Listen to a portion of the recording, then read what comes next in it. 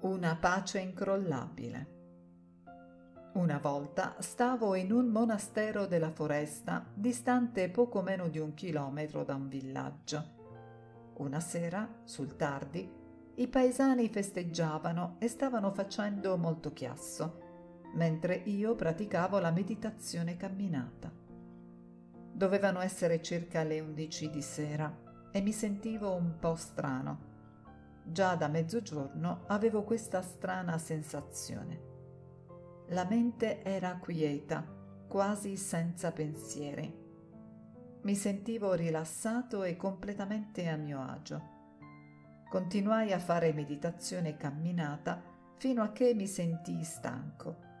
Allora andai a sedermi nella capanna con il tetto di paglia. Mi stavo sedendo quando in modo sorprendente senza neppure avere il tempo di incrociare le gambe, la mia mente sentì il bisogno di immergersi in uno stato di profonda pace. Tutto avvenne per conto suo. Appena seduto, la mente divenne completamente tranquilla. Era solida come una roccia. Non è che non sentissi i canti e la musica dei paesani, potevo sentirli, ma potevo anche completamente chiudere fuori la percezione del suono. Era strano. Se non facevo attenzione al suono, c'era una pace perfetta, non sentivo niente. Ma se volevo sentire, lo potevo fare e non mi disturbava affatto.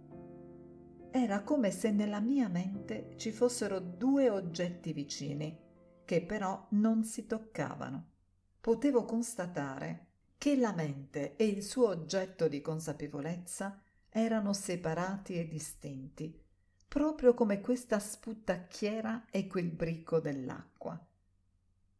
Poi compresi. Quando la mente è in samadhi, se dirigete l'attenzione verso l'esterno, potete udire i suoni, ma se la lasciate dimorare nella sua vacuità, allora è perfettamente silenziosa. Quando il suono veniva percepito, potevo vedere che il conoscere e il suono erano completamente diversi. Iniziai a riflettere. Se non fosse così, com'è? In che altro modo potrebbe essere? È così che era. Le due cose erano completamente separate. Continuai ad indagare in questo modo fino a che la mia comprensione si approfondì ancora di più. Ah, questo sì che era importante. Quando si interrompe l'apparente continuità dei fenomeni, vi è solo pace. La precedente illusione di continuità, santati, si era trasformata in pace mentale. Santi. Così continuai a meditare, mettendoci un grande sforzo. In quel momento la mente era concentrata solo sulla meditazione, indifferente a tutto il resto. Se a quel punto avessi smesso di meditare, sarebbe stato solo perché l'avevo completata Potevo prendermela con calma, ma non per pigrizia, stanchezza o noia. Niente affatto. Tutto ciò era assente dal cuore. C'era solo un equilibrio interiore perfetto. Infine feci una pausa, ma fu solo la postura esterna che cambiò. E il cuore rimase fermo, immobile, infaticabile. Avevo l'intenzione di riposare, per cui presi un cuscino. Mentre mi piegavo, la mente rimase calma come prima. Poi, proprio mentre la testa toccava il cuscino, la consapevolezza della mente cominciò a fluire verso l'interno. Non sapevo dove andasse. Continuava a scorrere sempre più in profondità. Era come una corrente elettrica che passava attraverso un cavo fino all'interruttore. quando raggiunse l'interruttore il corpo esplose con un boato assordante. Durante tutto ciò la conoscenza era perfettamente lucida e sottile. Una volta passato quel punto, la mente fu libera di penetrare profondamente dentro. Arrivò fino a un punto in cui non c'era assolutamente niente. Nessuna cosa del mondo esteriore avrebbe potuto penetrare qui. Niente avrebbe potuto raggiungerlo. Rimasi un po' così, dentro, poi la mente si ritirò per scorrere di nuovo fuori. Quando però dico che si ritirò, non intendo dire che la feci defluire. Io ero soltanto un osservatore, un testimone che conosceva. La mente uscì sempre di più fino a che ritornò normale.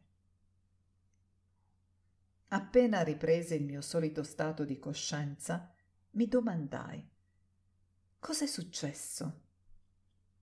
Subito giunse la risposta. Queste cose avvengono per i fatti loro. Non devi cercare alcuna spiegazione. La mente rimase soddisfatta di questa risposta. Dopo un po' la mente cominciò a fluire di nuovo verso l'interno. Non facevo nessuno sforzo cosciente per dirigere la mente fece tutto da sola. Mentre si muoveva sempre più profondamente all'interno, ad un tratto toccò di nuovo quell'interruttore. Questa volta il mio corpo esplose in un'infinità di minuscole particelle. Di nuovo la mente fu libera di penetrare profondamente dentro se stessa. Silenzio assoluto era andata ancora più in profondità di prima. Assolutamente nessuna cosa esterna poteva raggiungerla. La mente rimase lì per un po', per il tempo che volle, e poi si ritirò e rifluì fuori. Seguiva un suo impulso e tutto avveniva da sé. Io non influenzavo né dirigevo la mente in alcun modo non la facevo fluire dentro né la ritraevo fuori. Io conoscevo e guardavo soltanto. Di nuovo la mente ritornò al suo normale stato di coscienza e io non mi chiesi né pensai a ciò che era accaduto. Mentre meditavo, una volta ancora la mente si volse verso l'interno questa volta l'intero cosmo esplose e si disintegrò in minutissime particelle. La terra, il suolo, le montagne, i campi e le foreste, tutto il mondo si disintegrò nell'elemento spazio. La gente era sparita, tutto era sparito. Questa terza volta non rimase assolutamente nulla. La mente rivolta all'interno rimase lì per quanto tempo volle. Non posso dire che capisco esattamente in che modo vi rimase. È difficile descrivere ciò che accadde. Non vi sono termini di paragone a cui riferirmi. Nessuna similitudine calzante questa volta la mente rimase all'interno per un tempo molto più lungo e venne fuori da quello stato dopo un bel po'. Quando dissi che ne uscì, non intendo dire che la feci uscire io o che stavo controllando ciò che avveniva. La mente fece tutto da sola. Io ero soltanto un osservatore.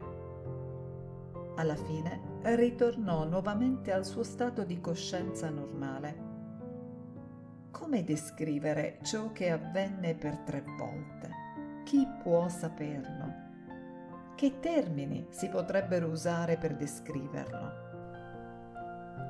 Ti ringrazio molto per aver visto e ascoltato questo video. sperando che porti consapevolezza e gioia nella tua vita. Condividi nei commenti la tua esperienza. Metti mi piace e iscriviti al canale di Doeia per ascoltare altri contenuti simili. Ci vediamo nel prossimo video.